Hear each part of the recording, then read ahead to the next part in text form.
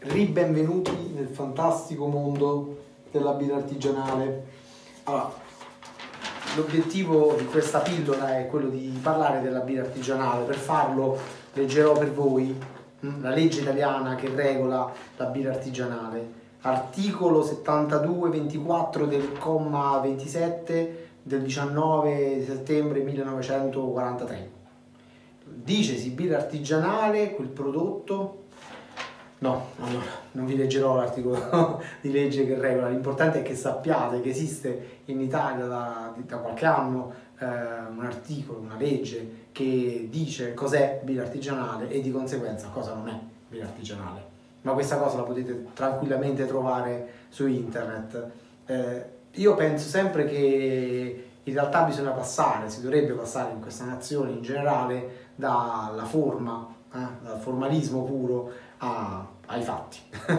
eh, quindi birra artigianale, oltre che sapere eh, che c'è un massimo di litri da produrre, che c'è un tema di indipendenza, eh, c'è un tema di non fare delle pratiche industriali per lo più, eh, secondo me la cosa importante è capire che chi produce birra artigianale è sostanzialmente qualcuno che sta cercando di dare il suo meglio per mettervi nel bicchiere eh, il miglior prodotto possibile eh,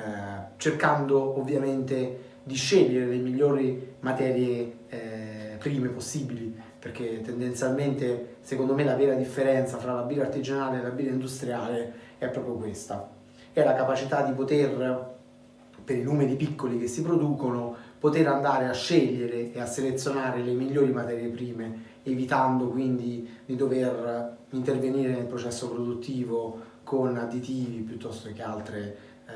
attività eh, che, che, riescono a migliorare eventuali eh, deficit iniziali. Eh, quindi è un po' come paragonare, eh, qualcuno dice, una cucina stellata eh, a una mensa. non è che la mensa, se vai a mangiare in mensa, ti fa morire, non muori, così come se bevi birra industriale. però è anche vero che se vai a mangiare da uno chef stellato tendenzialmente tutto ciò che hai nel piatto è stato pensato, mh, mm, prodotto, mh, migliorato, messo insieme, assemblato per rendere il massimo possibile. E, e, quindi è chiaro che anche le dimensioni sono più piccole, è chiaro che eh, tutto quello che viene, che viene fatto deve essere anche spiegato, perché poi questo deve andare a spiegare anche il prezzo che eh, fra la birra industriale e la birra artigianale è sensibilmente differente. Eh, io di solito mm, cerco di, portare il più possibile persone verso, verso il nostro mondo perché l'idea è anche quella di cominciare a degustare, a capire che eh, si possono bere sapori differenti, momenti differenti, eh, si può utilizzare le birre artigianali per gli abbinamenti in cucina, non solo con la pizza ovviamente, ma col pesce, con eh, la pasta, eh, con i dolci, perché no? Eh, quindi si può spaziare il più possibile, ecco. Eh, è chiaro che